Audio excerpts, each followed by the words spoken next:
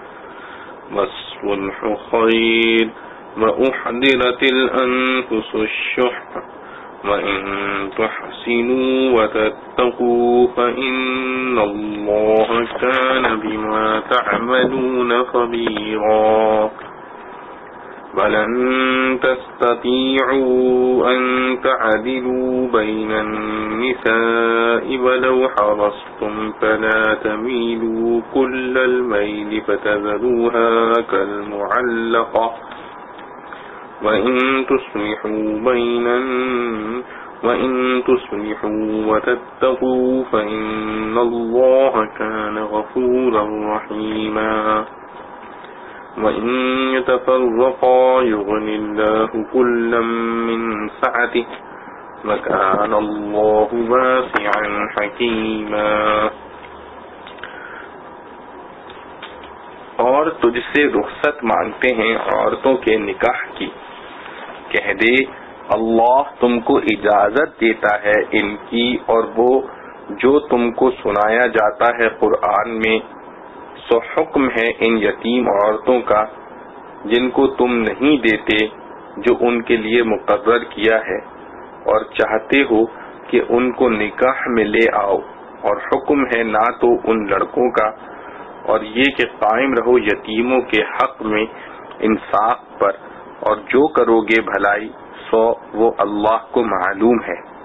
और अगर कोई औरत डरे अपने खावन के लड़ने से या जी भर जाने से तो कुछ गुना नहीं, दोनों पर के कर लें आपस में किसी तरह सुलह। और सुलह सुलह खूब चीज़ है। और दिलों के सामने मौजूद है हिर्स और अगर तुम नेकी करो और परहेजगारी करो तो अल्लाह को तुम्हारे सब कामों की खबर है, और तुम हरगिज बराबर न रख सकोगे औरतों को। अगरचे इसकी हिरस करो, सो बिल्कुल फिर भी न जाओ कि डाल रखो एक औरत को जैसे अधर में लटकती। और अगर इसलाह करते रहो और परहेजगारी करते रहो तो अल्लाह बख्शने वाला मेहरबान है। और अगर दोनों जुदा हो जावें तो अल्लाह हर एक को बेपरवाह कर देगा अपनी कशाइश से, और अल्लाह कुशाइश वाला, तदबीर वाला है। रबते आयात। शुरू सूरतों में, शुरू सूरत में यतीमों और औरतों के खास अहकाम और उनके हुकूक अदा करने का वजूब मजकूर था, क्योंकि जाहिलियत में बाजे उनको मीरास ही न देते थे। बाजे जो माल मीरास में या और किसी तौर से उनको मिलता, उसको नाजायज तौर पर खा जाते। बाजे उनसे निकाह करके उनको मेहर पूरा न देते। ऊपर इन सब की ममानियत की गई थी। इस पर मुख्तलिफ़ वाकयात पेश आए। इस पर मुख्तलिफ़ वाकयात पेश आए। बास को तो ये ख्याल हुआ कि औरतें और बच्चे फ़ी नफसी ही काबिल मीरास के नहीं। किसी वक्ती मसलहत से यह हुक्म चंद लोगों के लिए हो गया है। उम्मीद है कि मंसूख हो जाएगा। और बाज इसके मुंतजर रहे। जब नस्ख न हुआ तो ये मशवरा ठहरा कि खुद हुजूर पाक सल्लल्लाहु अलैहि वसल्लम से पूछना चाहिए। और हाजिर होकर पूछा, इब्न जरीर अलहमा और इब्न मंजर रहमतुल्लाह अलैह ने आयत का सबब नजूल इसी सवाल को नकल किया है। और इसके बाद की आयतों में औरतों से मुतल चंद और मसाइल बयान फरमा दिए गए बयान कुरान खुलासा तफसील। और लोग आप सल्लल्लाहु अलैहि वसल्लम से औरतों की मीरास और मेहर के बाब में हुक्म दरियाफ्त करते हैं। आप सल्लल्लाहु अलैहि वसल्लम फरमा दीजिए कि अल्लाह ताला उनके बारे में तुमको वही सबक हुक्म देते हैं और वो आयत भी तुमको हुक्म देती है जो कि इसके कबल नाजिल हो चुकी हैं। और कुरान के अंदर तुम पढ़कर सुनाई जाया करती हैं। और कुरान के अंदर तुमको पढ़कर सुनाया जाया कर सुनाई जाया करती हैं। क्योंकि कुरान की तिलावत में इनकी तिलावत भी ज़ाहिर है, हुआ ही करती थी, जो कि इन यतीम औरतों के बाब में नाजिल हो चुकी है, जिनके साथ तुम्हारा ये मामला है कि अगर वो साहिब माल और साहिब जमाल हुई तो उनसे निकाह करते हो, मगर उनको जो शरा से उनका हक मीरास और मेहर का मुकदर है, नहीं देते हो। और अगर साहिब जमाल न हुई, सिर्फ़ साहिब माल हुई तो उनके साथ बवजह खुश जमाल न होने के निकाह करने से नफरत करते हो। लेकिन बवजह साहिब माल होने के इस खौफ से कि ये माल कहीं और न चला जाए और किसी से भी निकाह नहीं करने देते। और किसी से भी निकाह नहीं करने देते।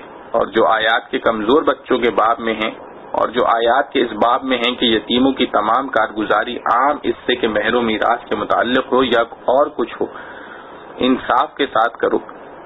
ये मजमून है इन आयात सबका का।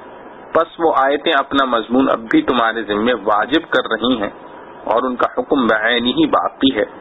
तुम उन्हीं के मुवाफिक अमल रखो और जो नेक काम करोगे निसाव यतामा के बारे में या और उमूर में भी सो बिलाशुबा अल्लाह ताला उसको खूब जानते हैं। तुम उनकी जजा तुमको उनकी जजाय खैर देंगे। और जानते तो हैं गैर, गैर खैर को भी। लेकिन यहाँ तरगीब खैर की मकसूद है, इसलिए तखसीस की गई। और अगर किसी आदत को कराइन से अपने शोहर से गालिब, एहतमाल पर दिमागी और कज अदाई या बेपरवाही और बेरुखी का हो तो ऐसी हालत में दोनों को इस अम्र में कोई गुना नहीं कि दोनों बाहम एक खास तौर पर सुलह कर लें।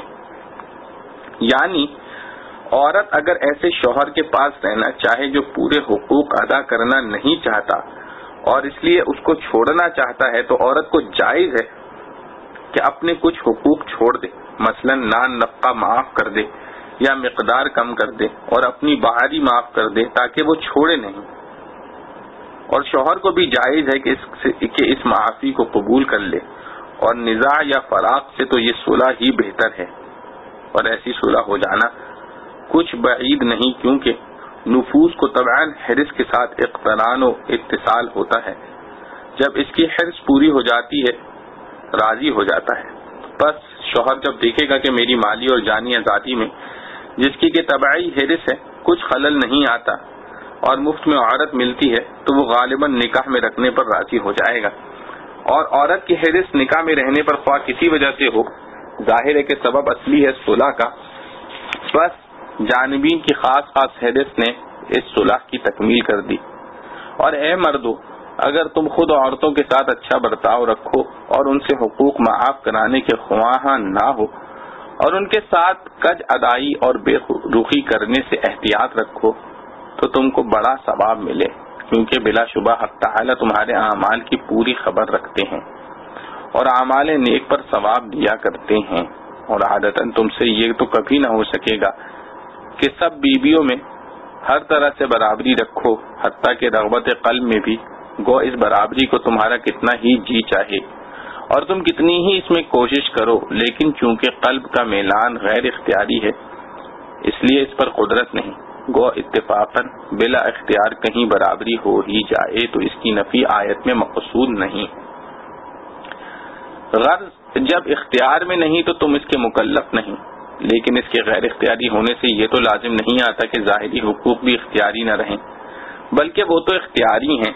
जब वो इख्तियारी हैं तो तुम पर वाजिब है कि तुम बिल्कुल एक ही तरफ़ न ढल जाओ। बिल्कुल का मतलब ये कि बातिन से भी जिसमें माजूर थे और ज़ाहिर से भी जिसमें मुख्तार हो। यानी हुकूक शरिया में इनसे नशूज आराज ना करो, जिससे इस मजलूमा को ऐसा कर दो जैसे कोई इधर ना उधर। यानी बीच में लटकी हो। यानी ना तो उसके हुकूक अदा किए जाए कि खाविंद वाली सखावंद वाली समझी जाए और ना उसको तलाक दी जाए कि बेखावंद वाली कही जाए। बल्कि रखो तो अच्छी तरह रखो। और रखने की सूरत में जो जमाना माजी में कुछ नागवार मामलात उनसे किए गए, अगर इन मामलात की फ़िलहाल इसलाह कर लो और आइंदा जमाने में ऐसे मामलात से एहतियात रखो तो वो उमूर गुज्त माफ़ कर दिए जाएँगे। क्योंकि बिलाशुबा अल्लाह ताला बड़े मगफिरत वाले, बड़ी रहमत वाले हैं। चूँकि इसलाह जुनूब मुतल बहकूक इबाद की, इन इबाद के मुआफ करने से होती है, बस इस्लाम में ये माफ़ी भी आ गई। तो इसके वकू के बाद तोबा शरान सही हो गई, इसलिए मकबूल हो गई। और अगर दोनों मियाँ बीवी में किसी तरह भी मुवाफत न हुई और दोनों जुदा हो जाएँ, यानी खुला या तलाक हो जाए तो कोई उनमें से ख्वाह मर्द अगर इसकी जाती है, या औरत अगर इसकी कोताही है, यूँ ना समझे कि बदूल मेरे इस दूसरे का काम ही न चलेगा, क्योंकि अल्लाह ताला अपनी वसात कुदरत से दोनों में से हर एक को दूसरे से बेहतियाज कर देगा। यानी हर एक का एक हर एक का मुकद्दर काम बे दूसरे के चल जाएगा, और अल्लाह ताला बड़े वसात वाले और बड़ी हिकमत वाले हैं। हर एक के लिए मुनासिब सबील निकाल देते हैं। मारिफ मसाइल। अजदवाजी ज़िंदगी से मुतल चंद कुरानी हिदायत। व इन खाफत मिन बादिहा, इला कौली वासियान हकीमा। इन तीनों आयतों में हक जल्ल शाहू ने अजदवाजी ज़िंदगी के इस तल्ख और कठन पहलू के मुतालिक हिदायत दी हैं। जो इस तवील ज़िंदगी के मुख्तलिफ़ अदबार में हर जोड़े को कभी न कभी पेश आ ही जाता है, वो है बाहमी रंजिश और कशीदगी। और ये ऐसी चीज़ है कि इस पर सही उसूल के मातहत काबू पाने की कोशिश न की जाए तो सिर्फ़ तो ना सिर्फ़ जोजैन के लिए दुनिया जहन्नम बन जाती है, बल्कि बसा औकात ये घरेलू रंजिश खानदानों और कबीलों की बाहमी जंग और कत्लो कताल तक नौबत पहुँचा देती है। पुराने अज़ीज़, मर्द औरत दोनों के तमाम जज्बात और एहसास को सामने रखकर हर फरीक को एक ऐसा निज़ाम ज़िंदगी बतलाने के लिए आया है। जिस पर अमल करने का लाजमी नतीजा ये है कि इंसान का घर दुनिया ही में जन्नत बन जाएगा। घरेलू तलखियाँ, मोहब्बत और राहत में तब्दील हो जाएँगी। और अगर नागजीर हालात में अलाहदगी की नौबत आ भी नौबत भी आ जाए तो वो भी खुशगवार तरीका, खुश असलूबी के साथ हो। कता ताल्लुक भी ऐसा हो कि अदावत दुश्मनी और इज़्ज़त इसानी के जज्बात पीछे ना छोड़े। आयत नंबर 128 ऐसे हालात से मुतल है जिसमें गैर इख्तियारी तौर पर मियाँ बीवी के ताल्लुक कशीदा हो जाएँ। हर फरीक अपनी जगह माजूर समझा जाए और बाहमी तलखी की वजह से इसका अंदेशा हो जाए कि बाहमी हुकूक की अदायगी में कोताही हो जाएगी। जैसे एक बीवी से इसका शोहर का दिल नहीं मिलता और न मिलने के असबाब रफा करना औरत के इख्तियार में नहीं। मसलन औरत बदसूरत या सन रसीदा बुढ़िया है, शोहर खुशरू है तो ज़ाहिर है कि इसमें न औरत का कोई कसूर है और न मर्द ही कुछ मुजरिम कहा जा सकता है। चुनाचा इस आयत के शान नजूल में इसी तरह के चंद वाकयात मजहरी वगैरह में मनकूल हैं। ऐसे हालात में मर्द के लिए तो एक आम कानून कुरान करीब ने यह बतलाया है कि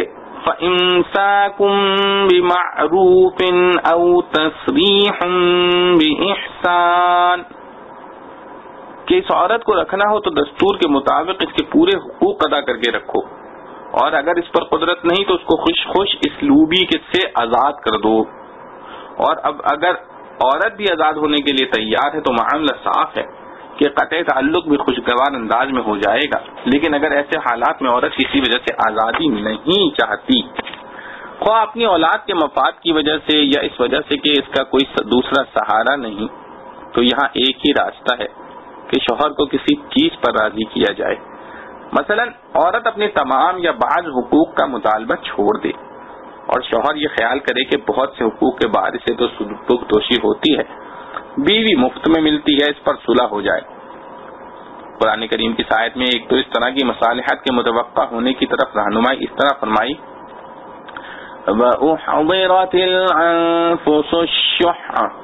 यानी हिरिस तमाम नफूस के सामने धरी रहती है। ऐसी मसालियत में औरत को तो ये हिरस है कि मुझे आज़ाद कर दिया तो औलाद बर्बाद हो जाएगी या मेरी ज़िंदगी दूसरी जगह तल्ख होगी। और को शौ, और शोहर को ये लालच है कि जब औरत ने अपना कुल मेहर या बाज माफ़ कर दिया और दूसरे हुकूक का भी मुतालबा छोड़ दिया तो अब इस, इसको रखने में मेरे लिए क्या मुश्किल है? इसलिए मसालहत बाहमी आसान हो जाएगी। इसके साथ इर्शाद फरमाया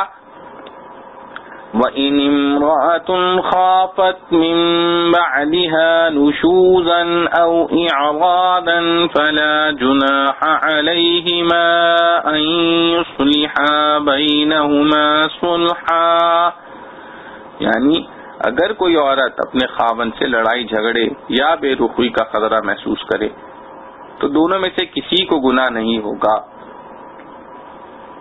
अगर आपस में खास शराइ पर सुलह कर लें और गुना न होने के उन्वान से इसलिए ताबीर फरमाया कि इस मामले की सूरत बजाहिर रिश्वत किसी है, कि शोहर को मेहर वगैरह की माफ़ी का लालच देकर अजदवाजी ज़िंदगी का ताल्लुक बाकी रखा गया है। लेकिन कुरान के इरशाद ने वाजे कर दिया कि ये रिश्वत में दाखिल नहीं, बल्कि मसलहत में दाखिल है, जिसमें फरीकैन अपने कुछ कुछ का मुतालबा छोड़कर किसी दरमियानी सूरत पर रजामंद हो जाया करते हैं, और ये जायज़ है। जोजैन के झगड़े में दूसरों का दखल बिला ज़रूरत मुनासिब नहीं। तफसीर मजहरी में है कि इस जगह ताला ने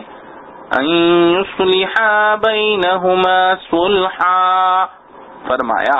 यानी मियाँ बीवी दोनों आपस में किसी सूरत पर मसालहत कर लें। इसमें लफ्ज बई नहुमा से इस तरफ़ इशारा निकलता है कि मियाँ बीवी के मामलात में बेहतर ये है कि कोई तीसरा दखील न हो। ये दोनों खुद ही आपस में कोई बात तय कर लें। क्योंकि तीसरे के दखल से बाज अवकात तो मसालहत ही नामुमकिन हो जाती है। और हो भी जाए तो तरफैन के अयूब तीसरे आदमी के सामने बिला वजह आते हैं, जिससे बचना दोनों के लिए मसलहत है। मजकूर आयत के आखिर में फरमाया तो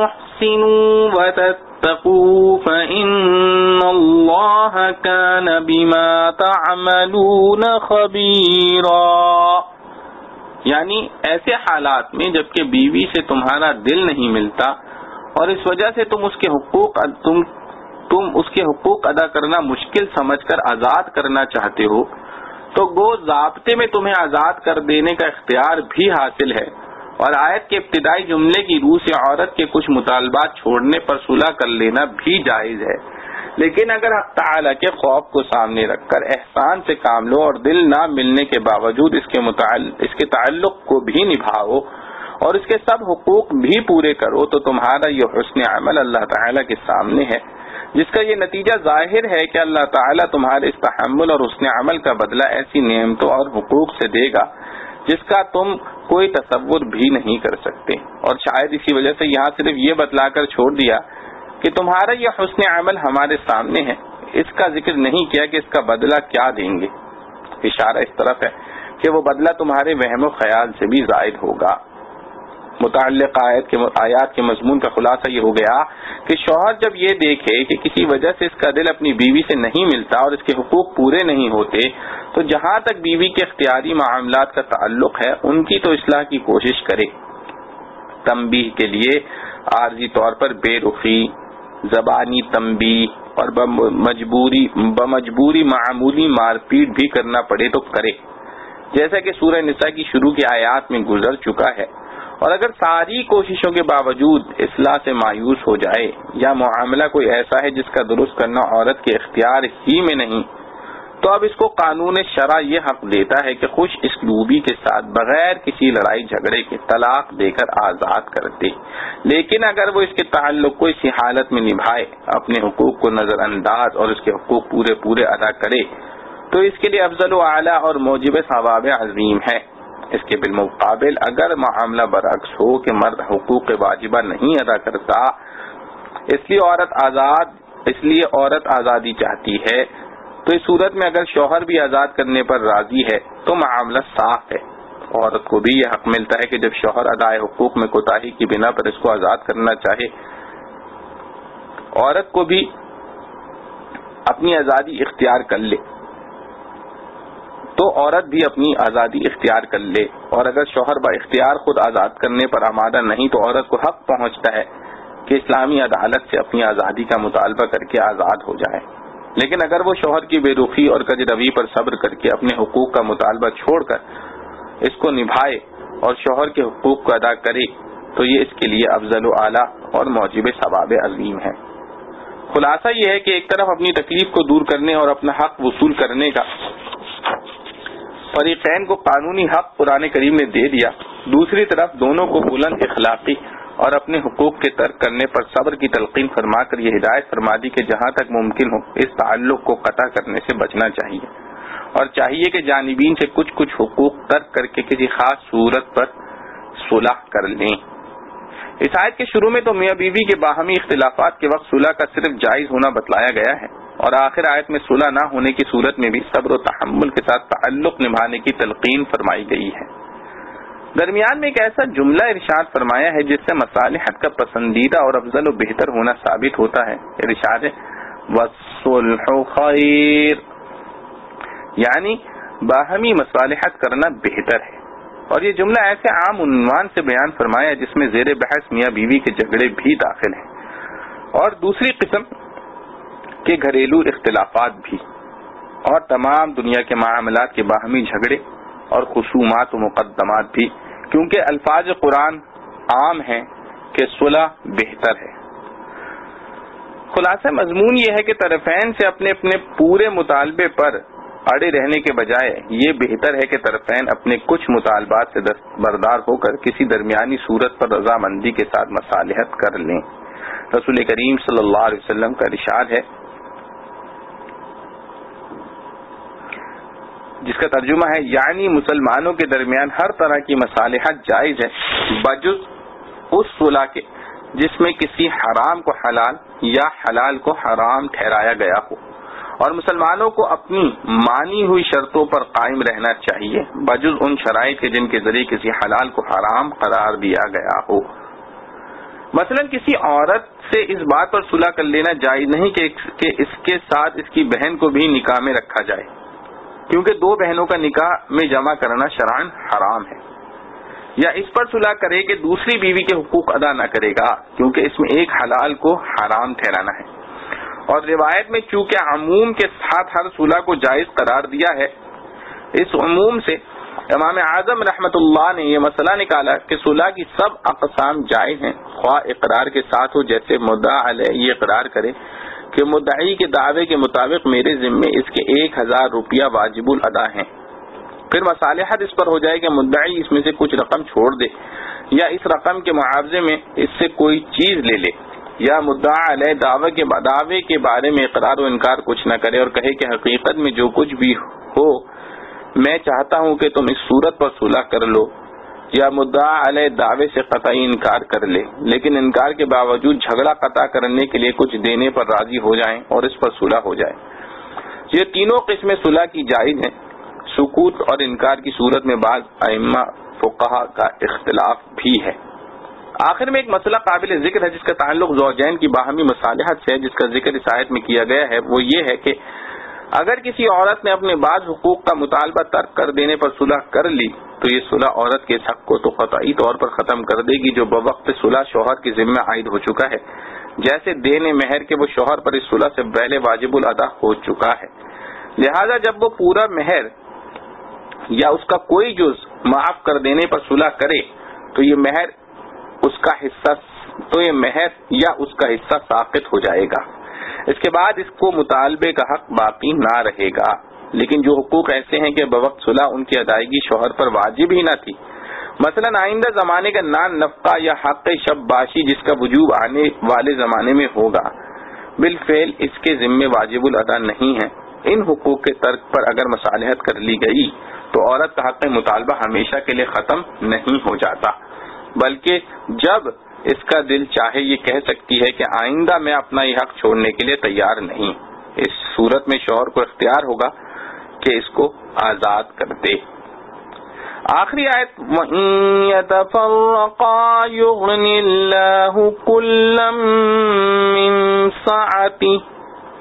में फरीकैन को तसल्ली दी गई कि अगर इसलाह व मसालहत की सब कोशिशें नाकाम होकर अलग ही होना पड़े तो इससे भी परेशान होने की कोई ज़रूरत नहीं है।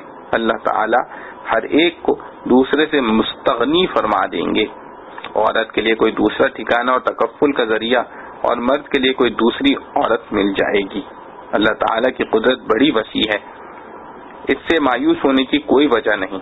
इनमें से हर एक निकाह से पहले ज़िंदगी पर नज़र डाले कि एक दूसरे को पहचानता भी ना था। अल्लाह ताला ने जोड़ा मिला दिया। आज फिर आज भी फिर ऐसी सूरतें पैदा हो सकती हैं। आखिर आयत में, वकान हकीमा। फरमा कर इस बात को और पुख्ता कर दिया कि अल्लाह ताला कि यहाँ बड़ी वसात है और इसका हर काम हिकमत पर मबनी है। मुमकिन है कि इस अलाइदगी ही में हिकमत मसलहत हो। जुदाई के बाद दोनों को ऐसे जोड़े मिल जाएँ कि दोनों की ज़िंदगी सुधर जाए। उमूर गैर इख्तियारी पर मुआवजा नहीं।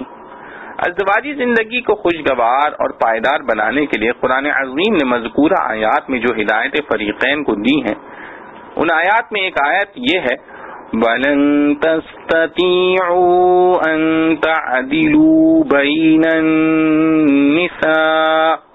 जिसमें फरीकैन को एक खास हिदायत फरमाई, वो ये कि एक मर्द के निकाह में एक से ज़्यादा औरतें हों तो कुरान करीम ने सूर्य निसा के शुरू में इसको ये हिदायत दी कि सब बीवियों में अदल मसावत कायम रखना इसके जिम्मा फ़र्ज़ है। और जो ख्याल करे कि इस फ़र्ज़ को मैं अदा ना कर सकूँगा तो उसको चाहिए कि एक से ज़्यादा, एक से जायद बीबियाँ ना करे। इरशाद है तुम अल्लाह फवाहिदा यानी अगर तुमको ये खतरा हो कि दो बीवियों में मसावत न कर सकोगे तो फिर एक ही पर इक्तफा करो। और रसूल करीम सल्लल्लाहु अलैहि वसल्लम ने अपने कौल अमल से बीवियों में आदल और बराबरी को नहायत ताकीदी हुक्म करार दिया है। और इसके खिलाफ और इसकी खिलाफ वर्जी पर सख्त वईद सुनाई है। हज़रत आयशा फरमाती हैं कि रसूल करीम सल्लल्लाहु अलैहि वसल्लम अपनी अजवाज मुतहरात रजवान रज़ी अल्लाह में बराबरी और आदिल का पूरा एहतमाम फरमाया करते थे और साथ ही बारगाह जल्ल शाहू में अर्ज़ किया करते थे कस्मी फीमा अमलिकु फला तलुमनी फीमा तमलिकु वला अमलिकु। यानी, ए अल्लाह, ये मेरी मुनसिफाना तकसीब और मसावत इस चीज़ में है जो मेरे इख्तियार में है। इसलिए जो चीज़ आपके इख्तियार में है, मेरे इख्तियार में नहीं। यानी कल्बी मेलान और रुझान, इसमें मुझसे मुआवजा ना फरमाइए। रसूल करीम सल्लल्लाहु अलैहि से ज़्यादा अपने आप पर काबू रखने वाला कौन हो सकता है? मगर कल्बी मैलान को आप वसल्लम भी, ने भी अपने इख्तियार से बाहर करार दिया और अल्लाह ताला की बारगाह में अजुर पेश किया। सूर्य निसा की शुरू किया आयत के ज़ाहिर अल्फाज में बीवियों से मुतलकन मसावत बराबरी का फ़र्ज़ होना मालूम होता था। जिसमें कल्बी मैलान भी मसावत में भी, जिसमें कल्बी मैलान में भी मसावत करना दाखिल है और यह मामला इंसान के इख्तियार में नहीं। इसलिए सूर्य निसा की शायद में हकीकत हाल की वजाहत फरमा दी कि जिन चीज़ों पर तुम्हें कुदरत नहीं है, उनमें मसावत फ़र्ज़ नहीं है। अलबत्ता बराबरी इख्तियारी मामलात में होगी, मसलन शबबाशी तर्ज माशरत और नफका वगैरह। अल्लाह ताला ने इस हुक्म को इस उनवान से बयान फरमाया जिससे एक शरीफ इंसान अमल करने पर मजबूर हो जाए फरमाया वलन तस्ततीउ अन तअदिलू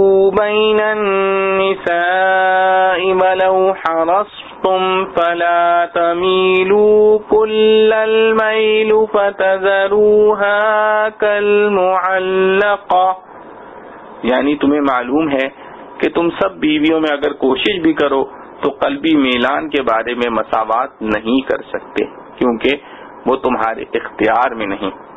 तो फिर ऐसा न करो कि पूरे ही एक तरफ़ ढल जाओ। यानी कल्बी मिलान तो इस तरफ़ था ही, और इख्तियारी मामला में भी उसको तरजीह देने लगो, जिसका नतीजा ये हो जाए कि दूसरी औरत लटकी ही रह जाए। यानी अब शौहर इसके हुकूक भी अदा न करे और इसको आज़ाद भी ना करे। मालूम हुआ कि शायद में आदल पर किसी की कुदरत न होने का जो ज़िक्र है, वो कलबी मैलान की बराबरी है, जो इंसान के अख्तियार में नहीं। और इस आयत के अल्फाज, फला तमीलू में खुद इस मफहम का कदीना मौजूद है। क्योंकि मानी इन अल्फाज के ये हैं कि अगरचे कलबी मैलान में बराबरी तुम्हारी कुदरत में नहीं, मगर बिल्कुल एक ही तरफ़ के ना रहो, ना हो रहो कि इख्तियारी मामला में भी इसको तरजीह देने लगो। इस तरह ये आयत सूर्य निसा की पहली आयत की तशरी हो गई कि इसके जाहिरी अल्फाज से कलबी मैलान में भी मसावत का फ़र्ज़ होना मालूम हो रहा था। इस आयत ने खोल दिया कि ये बवजह गैर इख्तियारी होने के फ़र्ज़ नहीं, बल्कि फ़र्ज़ उमूर इख्तियारिया में मसावत है। इस आयत से तद अजवाज के खिलाफ इस्तदलाल कतअन गलत है। इस आयत से तद अजवाज के खिलाफ इस्तदलाल कतअन गलत है। मजकूर तफसीर से इन लोगों की गलत फहमी भी वाजे हो गई, जो इन दोनों आयतों को मिलाकर ये नतीजा निकालना चाहते हैं कि शुरू सूरा निसा की आयत ने यह हुक्म दिया कि अगर चंद बीबियों में मसावत न कर सको तो फिर एक ही निकाह पर किनात करो, दूसरा निकाह ना करो। और इस दूसरी आयत ने यह बतला दिया कि के दो बीवियों में मसावत मुमकिन ही नहीं। इसलिए नतीजा ये निकल आया कि दो बीवियों को निकाह में रखना ही जायज़ नहीं। और अजब बात यह है कि अल्लाह जल्ल शाह ने खुद इन दोनों आयतों के अंदर इस गलत फहमी के इजाले का सामान रख दिया है। दूसरी आयत का करीना अभी गुजर चुका है कि फला तमीलू कुल्लल के अल्फाज हैं? और पहली आयत में ये फरमाया तुम अल्लाह फवाहिदा। इसमें बतौर शर्त के ये फरमाना कि अगर तुम्हें खतरा हो, ये लफ्ज खुला हुआ करीना इसका है कि दो बीवियों में आदल बराबरी नामुमकिन या इख्तियार से खारिज नहीं। वरना इस तवील इबारत की और फिर वो भी दो आयतों में कोई ज़रूरत न थी, कोई ज़रूरत ही न थी। जैसे हर्रिमत अलैकुम उम्महातुकुम व बनातुकुम। वाली आयत में इन औरतों की तफसील दी जिनसे निकाह हराम है और उख्तैन। फरमाकर, दो बहनों को निकाह में जमा करने की हरमत बतलाई गई है। इसी तरह ये भी फरमा दिया जाता कि एक वक्त में एक से जायद बीवियाँ रखना हराम है। और फिर अंतजमाऊ के साथ बैन अलुख्तैन की कैद फजूल हो जाती। इसी एक ही जुमले में यूँ फरमा दिया जाता वह अंतजमाऊ बैन इमरातैन। यानी मुतलकन दो औरतों को निकाह में जमा रखना हराम है। मगर कुरान करीम ने इस मुख्तर कलाम को छोड़कर न सिर्फ़ एक तवील इबारत इख्तियार की, बल्कि दो आयतों में इसकी तफसील बयान फरमाई। इससे ये भी मालूम हुआ कि आयत भी एक हदीस से इसका जवाब बतला रही है। भी एक हैसियत से इसका जवाब बतला रही है कि एक से जायद औरतों को निकाह में जमा रखना तो जायज़ है, मगर शर्त यह है कि वो दोनों आपस में बहने ना हों।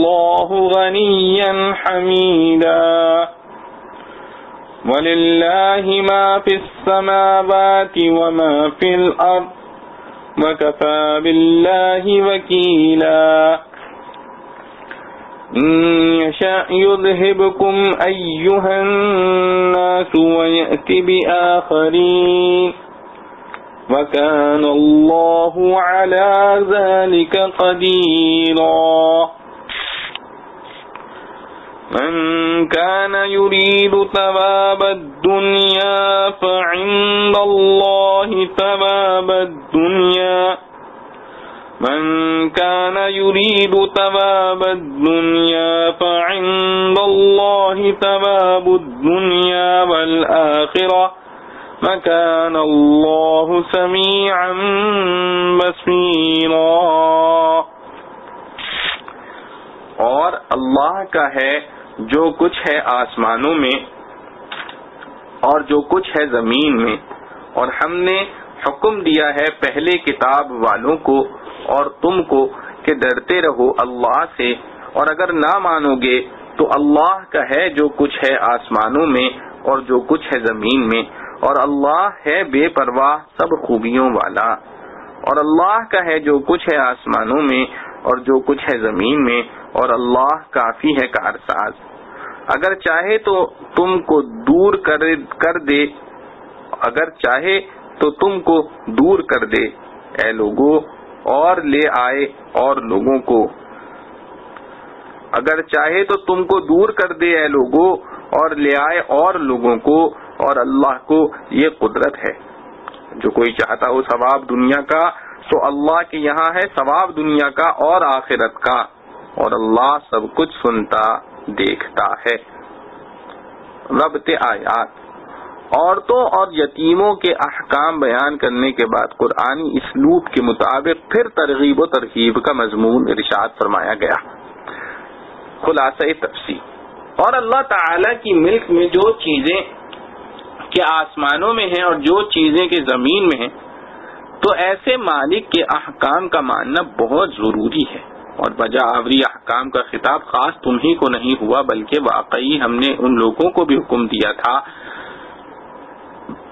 जिनको तुमसे पहले किताब आसमानी यानी तौरात और इंजील मिली थी। और तुमको भी हुक्म दिया है कि अल्लाह ताला से डरो, जिसको तकवा कहते हैं, जिसमें तमाम अहकाम की मुवाफ़त दाखिल है। इसीलिए सूरा को तकवा से शुरू करके इसकी तफसील में मुख्तलिफ़ अहकाम लाए हैं। और ये भी इनको और तुम, तुमको सुनाया गया कि अगर तुम नाशुक्री करोगे, यानी अहकाम इलाहिया की मुखालफत करोगे तो खुदा ताला का कोई जरर नहीं। हाँ तुम्हारा ही जरर है, क्योंकि अल्लाह ताला की तो मिल्क में, क्योंकि अल्लाह ताला की तो मिल्क है, जो चीज़ें के आसमानों में हैं और जो चीज़ें के ज़मीन में ऐसे बड़े सुल्तान का क्या जरर होगा? अलबत्ता ऐसे बड़े सुल्तान की मुखालफत बिला शक मुजर है। और अल्लाह ताला किसी की इतात के हाजतमंद नहीं और खुद अपनी जात में महमूद और कामिल सिफात है। बस किसी की मुखालफत से उनकी सिफात में कोई नक्स लाजिम नहीं आता। और अल्लाह ताला ही की मिल्क है जो चीज़ें के आसमानों में हैं और जो चीज़ें के ज़मीन में हैं। और जब वो ऐसे कादिर मुख्तार हैं तो अपने इतात गुजार बंदों के लिए वो अल्लाह ताला काफ़ी कारसाज हैं। बस उनकी कारसाजी के होते उनके फर्मा बरदारों को कौन ज़रूरत पहुँचा सकता है? बस किसी से डरना ना चाहिए। और अल्लाह ताला जो तुमको दीन के काम बतला रहे हैं तो तुम्हारी ही सआदत के लिए, वरना वो दूसरों से भी काम ले सकते हैं।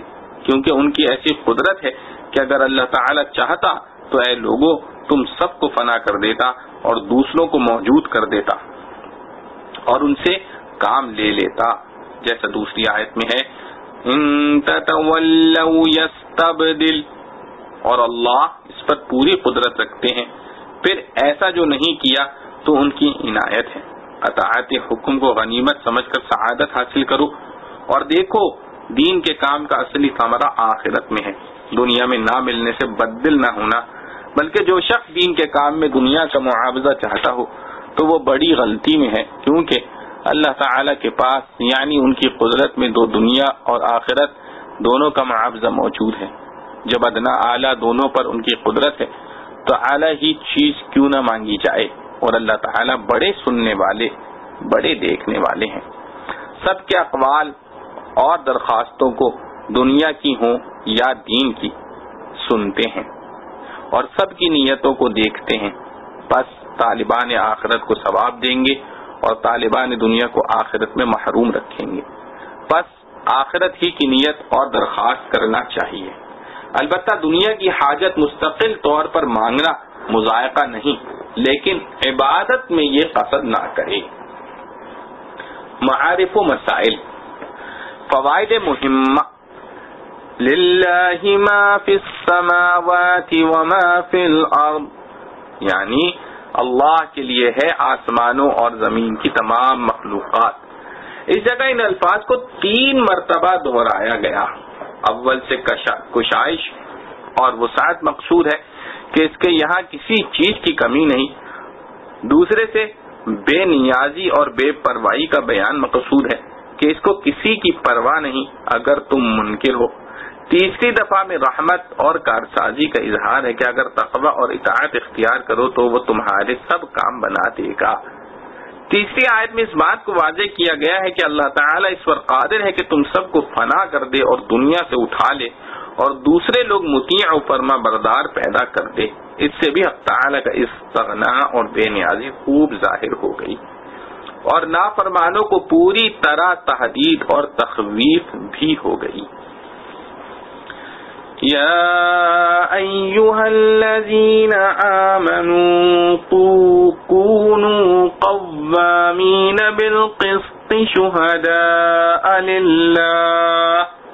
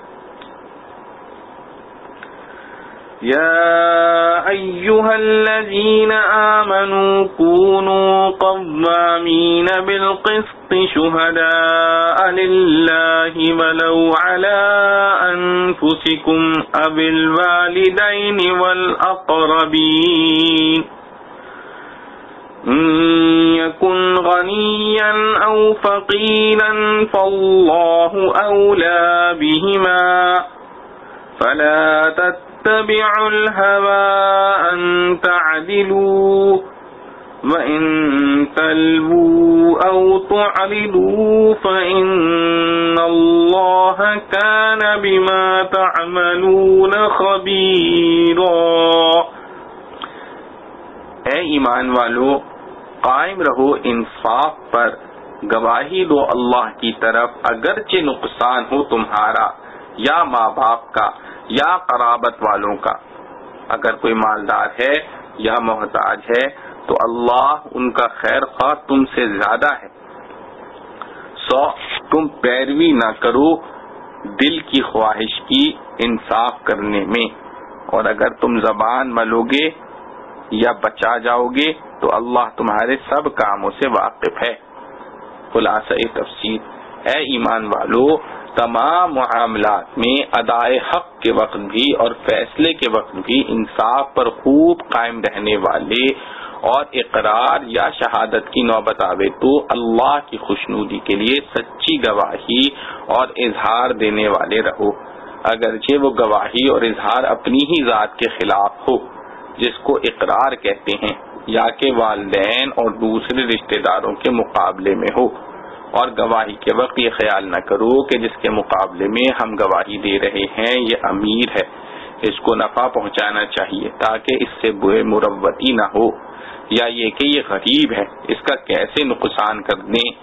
तुम गवाही देने में किसी की अमीरी, गरीबी या नफा और नुकसान को ना देखो, क्योंकि वो शख्स जिसके खिलाफ गवाही देनी पड़ेगी, अगर अमीर है तो और गरीब है तो दोनों के साथ अल्लाह ताला को ज़्यादा ताल्लुक है।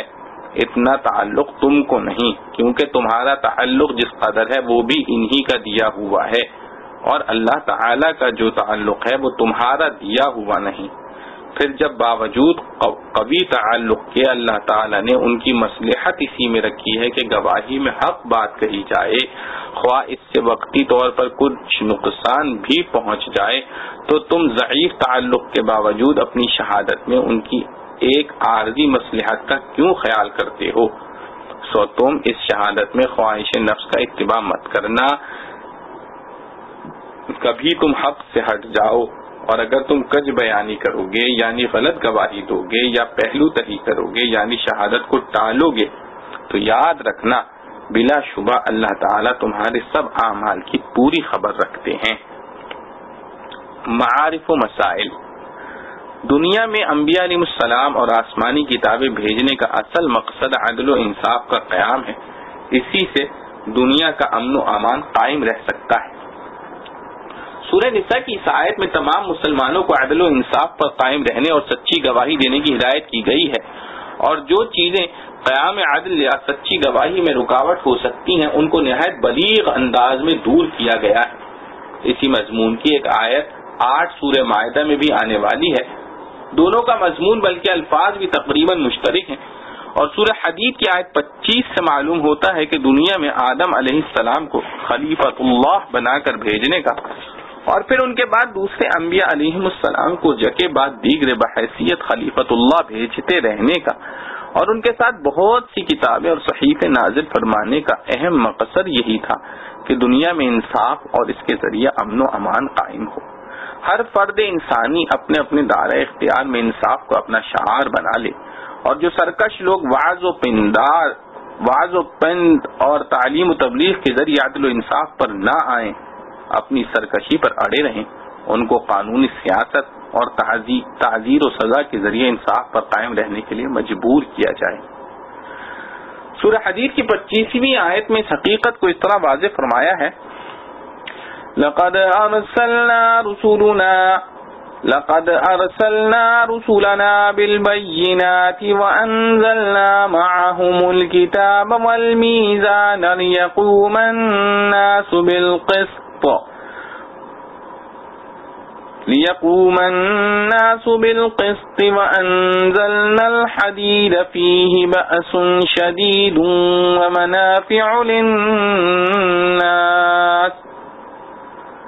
यानी हमने भेजे हैं अपने रसूल निशानियाँ देकर और उतारी उनके साथ किताब और तराजू, ताकि लोग सीधे रहें इंसाफ पर। और हमने उतारा लोहा, इसमें बड़ा रोब है और इससे लोगों के काम चलते हैं। इससे मालूम हुआ कि बैसत अम्बियालाम और तंजील कुतुब समाविया का सारा निज़ाम इंसाफ ही के लिए खड़ा किया गया है। रसूलों का भेजना और किताबों का नाजिल करना इसी मकसद के लिए, इसी मकसद के लिए अमल में आया है।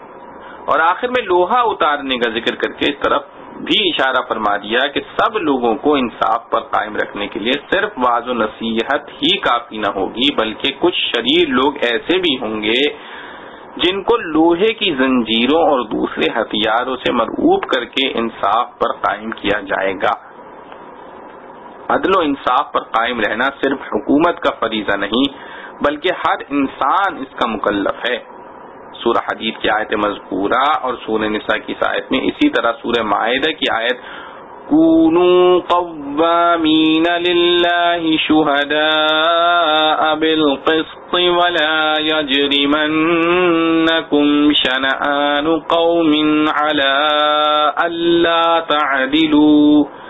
अल्ला तअदिलू इअदिलू हुव अक़रबु लित्तक़वा वत्तक़ुल्लाह इन्नल्लाह खबीरुम बिमा तअमलून से वाजे तौर पर यह हिदायत दी गई है कि इंसाफ कायम करना और इस पर कायम रहना सिर्फ़ हुकूमत और अदालत का फरीजा नहीं बल्कि हर इंसान इसका मुकल्लफ व मुखातिब है कि वो खुद इंसाफ पर कायम रहे और दूसरों को इंसाफ पर कायम रखने के लिए कोशिश करे। हाँ इंसाफ का सिर्फ़ एक दर्जा हुकूमत और हुक्काम के साथ मखसूस है। वो ये कि शरीर और सरकश इंसान जब इंसाफ के खिलाफ अड़ जाएँ, न खुद इंसाफ पर कायम रहे, न दूसरों को अदल इंसाफ करने दें तो हाकिमाना तजीर और सजा की ज़रूरत है। ये इकामत अदल इंसाफ ज़ाहिर है कि हुकूमत ही कर सकती है जिसके हाथ में इकतदार है। आज की दुनिया में जाहिल आवाम को छोड़िए, लिखे पढ़े, तालीमी याफ्ता हजरात भी ये समझते हैं कि इंसाफ करना सिर्फ़ हुकूमत और अदालत का फरीजा है। आवाम इसके जिम्मेदार नहीं है। और यही वो सबसे बड़ी वजह है जिसने हर मुल्क, हर सल्तनत में हुकूमत और आवाम को दो मुतजाद फरीक बना दिया है। राई और रैयत के दरमियान खिलाफ और इख्तलाफ की वसी खलीज हायल कर दी है। हर मुल्क के आवाम अपनी हुकूमत से अदल इंसाफ का मुतालबा करते हैं, लेकिन खुद किसी इंसाफ पर कायम रहने के लिए तैयार नहीं होते। इसी का नतीजा है जो दुनिया आँखों से देख रही है कि कानून मुअत्तल है, जराइम की रोज अफजू तरक्की है। आज हर मुल्क में कानून साजी के लिए असम्बलियाँ कायम हैं, उन पर करोड़ों रुपया खर्च होता है। उनके नुमाइंदे मुंतखब करने के लिए इलेक्शन में खुदा की पूरी ज़मीन हिल जाती है। और फिर ये पूरे मुल्क का दिलो दिमाग, मुल्क की जरूरियात और लोगों के जज्बात को एहसास को सामने रखते हुए बड़ी एहतियात के साथ कानून बनाते हैं। और फिर राय आमा के लिए इशाया करते हैं। राय आमा मालूम करने के बाद ये कानून काबिल तनफीस समझा जाता है। फिर इसके नफाज के लिए हुकूमत की लातादाद मशीनरी हरकत में आती है, जिसके हज़ारों बल्कि लाखों शोबे होते हैं। और हर शोबे में मुल्क के बड़े बड़े आजर मुदा कार लोगों की मेहनतें बरूए कार आती हैं। लेकिन चली हुई रसूम की दुनिया से जरा नज़र को ऊँचा करके देखा जाए, और जिन लोगों को खाम खा तहजीब और शाइस्तगी का ठेकेदार मान लिया गया है, थोड़ी देर के लिए उनकी कोराना तकलीद से निकलकर हकीकत का जायजा लिया जाए तो हर शख्स बेसाख्ता ये कहने पर मजबूर होगा कि निगाह खल्क में दुनिया की रौनक बढ़ती जाती है। मेरी नज़रों में फीका रंग महफिल होता जाता है। निगाह खल्क में दुनिया की रौनक बढ़ती जाती है, मेरी नज़रों में फीका रंग महफिल होता जाता है। अब से सौ साल पहले, अठारह ईस्वी से उन्नीस ईस्वी तक का ही मुवजना करें, आदाद शुमार महफूज हैं, वो गवाही देंगे कि जू जू कानून साजी बढ़ी कानून में आवाम की मर्ज़ी की नुमाइश बढ़ी और तनफीज कानून के लिए मशीनरी बढ़ी। एक पुलिस के बजाय मुख्तलिफ़ इकसाम की पुलिस बुरुए कार आती। बुरुए कार आई, इतने ही रोज बरोज जराइम बढ़े और लोग इंसाफ से दूर होते चले गए और इसी रफ्तार से दुनिया की बदअमनी बढ़ती चली गई। अमन आलम की जमानत सिर्फ़ अकीद आखरत और खौफ खुदा दे सकता है। कोई मर्द रशीद नहीं जो आँख खोलकर देखे और चलती हुई रस्मों की जकड़ को तोड़कर जरा रसूल अरबी सल्लल्लाहु अलैहि वसल्लम के लाए हुए पैगाम को सोचे, समझे और इस हकीकत पर गौर करे कि दुनिया का अमन सुकून मेरे ताजीरात से न कभी हासिल हुआ, न आइंदा होगा। आलम के अमन अमान की जमानत सिर्फ़ अकीद आखिरत और खौफ खुदा दे सकता है, जिसके ज़रिए सारे फराइज राय और रैयत के और अवाम और हुकूमत में मुश्तरक हो जाते हैं और हर शख्स अपनी ज़िम्मेदारी को महसूस करने लगता है। कानून के एहतराम और हिफाजत के लिए अवाम ये कहकर आज़ाद नहीं हो जाते कि ये काम हुक्काम का है। कुरान मजीद की मजकूर आयतें बसिलसिला क्याम अदल इंसाफ इसी इनकलाबी अकीदे की तलकीन पर ख़त्म की गई हैं। सूरह निसा की इस आयत के खत्म पर बिमा खबीरा का इरशाद हुआ। और सूर्य माहिदे की आयत के आखिर में अव्वल तकवा की हिदायत फरमाई और फिर फरमाया इन खबीर बिमा तमलून और सूरह हदीद की आयत के आखिर में इरशाद हुआ इन अज़ीज़ इन तीनों आयतों में हुक्म और आवाम दोनों का अदल इंसाफ पर कायम रहने और कायम रखने की हिदायत देने के बाद खवातिमा आयात में सबकी नज़रें इस हकीकत की तरफ़ फेर दी गई हैं, जो इंसान की ज़िंदगी और उसके ख्याल और जज्बात में इनकलाब अजीम पैदा करने वाली है। यानी खुदा तला की कुत और सल्तनत इसके सामने हाजिरी और हिसाब किताब और जजा सजा का तस्वुर। यही वो चीज़ थी जिसने अब से सौ बरस पहले की नाख्वानदा दुनिया को आज की निस्बत बहुत ज़्यादा अमन सुकून बख्शा हुआ था। और यही वो चीज़ है जिसके नजरअंदाज करने की वजह से आज की तरक्की याफ्ता आसमान आज की तरक्की याफ्ता आसमानों से बातें करने वाली सैारे उड़ाने वाली दुनिया अमन चैन से महरूम है। रोशन ख्याल दुनिया सुन ले कि साइंस की हैरत अंगेज तरक्कियों से वो आसमान की तरफ़ चढ़ सकते हैं। सैारों पर जा सकते हैं, समंदर में जा सकते हैं, लेकिन अमन अमान और सुकून और इतमान जो इन सारे सामानों और सारे कारखानों का असल मकसद है, वो ना उनको किसी सैारे में हाथ आएगा, ना किसी नई से नई इजाद में। वो मिलेगा तो पैगंबर अरबी रूह फिदा सल्लल्लाहु अलैहि वसल्लम के पैगाम और उनकी तालीमत में। खुदा तला को मानने और आखिरत के हिसाब पर अकीदा रखने में। अला बिक्र साइंस के हैरत अंगेज इंकशाफात रोज बरोज खुदा तला की कुदरत कामिला और उसकी बेमिसाल, सनतकारी और ज़्यादा रोशन करते जाते हैं। जिनके सामने हर इंसान, हर इंसानी तरक्की अपने इज्ज दरमानदगी का एतराफ करके रह जाती है, मगर चे सूद चू दिले दाना, वो चश्मे बीन आनीस्त कुरान हकीम ने एक तरफ़ तो दुनिया के साथ निज़ाम का मंशा ही क्याम अदल इंसाफ बतलाया। दूसरी तरफ़ इसका एक बेमिसाल इंतज़ाम ऐसा अजीब गरीब फरमाया कि अगर इसके पूरे निज़ाम को अपनाया जाए और इस पर अमल किया जाए तो यही खूनखार व बदकार दुनिया एक ऐसे सवाल माशरे में तब्दील हो जाए, जो आखिरत की जन्नत से पहले नकद जन्नत हो।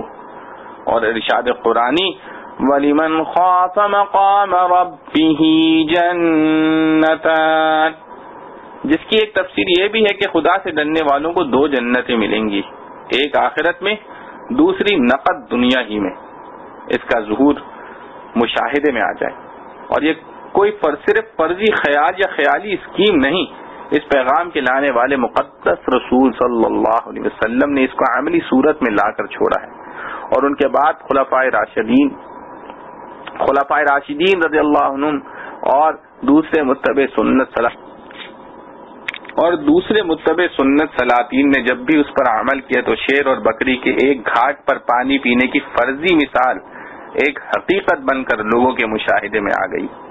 गरीब और अमीर मजदूर और सरमायाकार का तफर्रका यकसर मिट गया।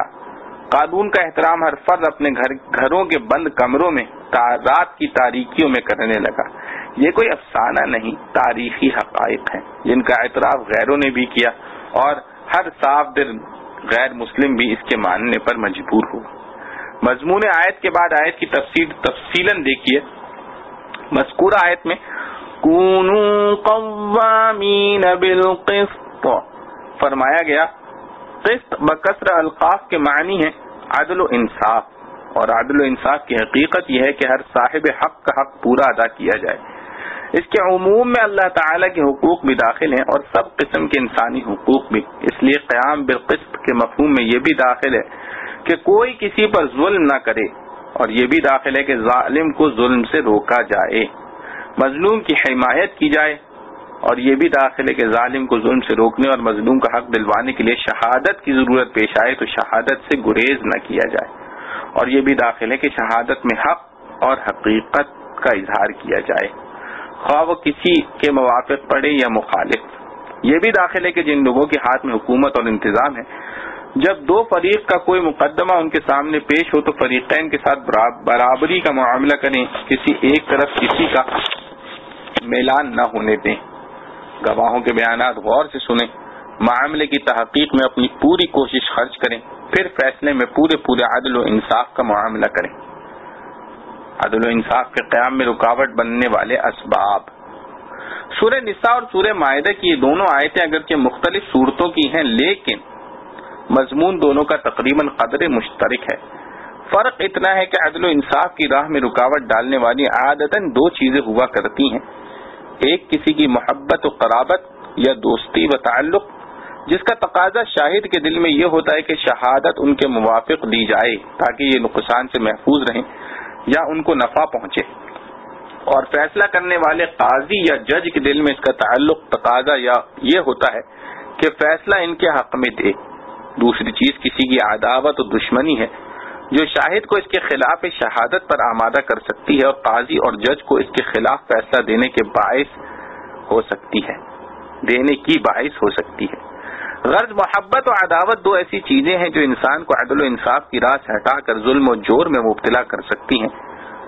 सूर्य निसा और सूर्य माहिदा की दोनों आयतों में इन्हीं दोनों रुकावटों को दूर किया गया है। सूर्य निसा की आयत में कराबत और ताल्लुक की रुकावट दूर करने की हिदायत फरमाई गई है, इरशाद है।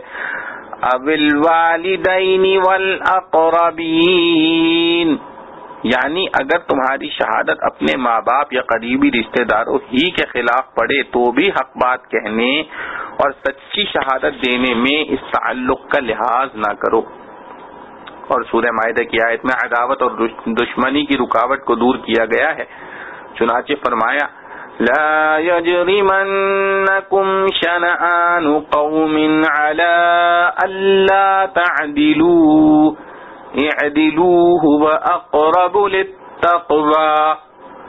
यानी किसी कौम का बुग्ज अदावत भी तुम्हारे लिए इसका बायस न होना चाहिए कि राह आदल को छोड़कर उनके खिलाफ गवाही या फैसला देने लगो दोनों आयतों के अनवान और ताबीर में भी थोड़ा फ़र्क है सूरह निशा की आयत में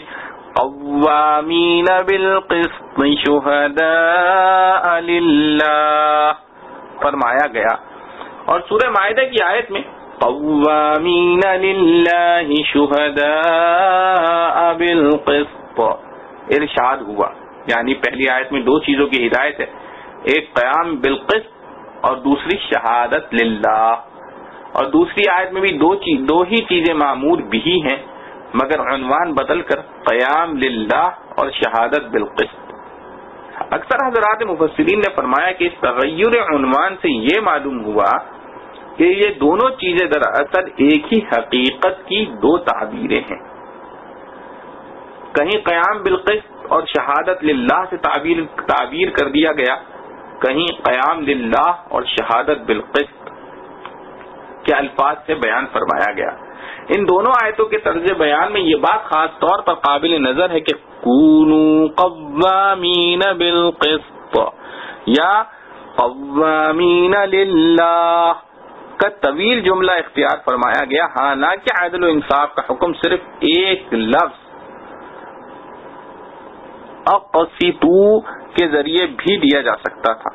इस तवील जुमले के इख्तियार करने में इस तरफ़ इशारा करना मंजूर है कि इत्तेफाकी तौर पर किसी मामले में अदल इंसाफ कर देने से ज़िम्मेदारी पूरी नहीं हो जाती, क्योंकि किसी न किसी मामले में इंसाफ हो जाना तो एक ऐसा तबाही अमर है कि हर बुरे से बुरे और जालिम से जालिम हाकिम पर भी सादक है कि इससे भी कभी किसी मामले में तो इंसाफ हो ही जाता है। इस जुमले में लफ्ज कवामीन इस्तेमाल फरमाया कि फरमा कर ये बतलाया कि अदल इंसाफ पर हमेशा हर वक्त, हर हाल और हर दोस्त दुश्मन के लिए कायम रहना ज़रूरी है। फिर इन दोनों आयतों में पूरी दुनिया को अदल इंसाफ पर कायम करने और कायम कराने के लिए जो ज़रूरी उसूल इख्तियार किए गए हैं वो भी कुरान अजीम ही की खसूसियात में से हैं। इनमें से एक अहम चीज़ तो ये है कि हुक्काम और आवाम सबको खुदा तला की कुदरत काहिरा और रोज जजा के हिसाब से डराकर इसलिए इसके लिए तैयार किया गया है कि आवाम खुद भी कानून का एहतराम करें और हुक्काम जो तनफीज कानून के जिम्मेदार हैं, वो भी तनफीज कानून में खुदा आखिरत को सामने रख कर खल्क खुदा के खादिम बने। कानून को खिदमत खल्क और इसलाह आलम का ज़रिया बनाएँ। लोगों की परेशानियों में इजाफा और मजलूम को दफ्तर गर्दी के चक्कर में फंसाकर मजीद जुल्म पर जुल्म का सबब ना बनाएँ। कानून को अपनी जलील ख्वाहिशात या चंद टकों में फरोख ना करें। कवामीन या शुहदा अल्लाह फरमाकर, हुकाम व आवाम दोनों को लिल्लाहियत और इखलास से अमल की दावत दी गई है। दूसरी बुनियादी चीज़ यह है कि अदल इंसाफ के क्याम की ज़िम्मेदारी पूरे अफराद इंसानी पर डाल दी गई है। सूर्य निसा और माहिदा में तो इसका मुखातिब, या फरमाकर पूरी उम्मत मुस्लिमा को बना दिया गया है। और सूरा हदीद में फरमाकर इस फरीजे को तमाम अफराद इंसानी पर आयद कर दिया गया सूर्य निसा की आयत में वलकुम फरमाकर इस तरफ़ हिदायत फरमा दी कि इंसाफ का मुतालबा सिर्फ़ दोस्त, दूसरों ही से ना हो, बल्कि अपने नफ्स से भी होना चाहिए। अपने नफ्स के खिलाफ कोई बयान या इजहार करना पड़े तो भी हक इंसाफ के खिलाफ कुछ ना बोले। अगरचे इसका कानून इसकी जात ही पर पड़ता हो, क्योंकि ये नुकसान हकीर और कलील और आरजी है और झूठ बोलकर इसकी जान बचा दी गई तो कयामत का शदीद आजाब अपनी जान के लिए खरीद लिया। अल्लाह ताला जल्ला जलालहू व अवालहू से दुआ है कि जो कुछ पढ़ा सुना गया, हमें उस पर अमल करने की तौफीक नसीब फरमाए। व आखिर दावाना अलहमदुल्ला रब्बिल आलमीन।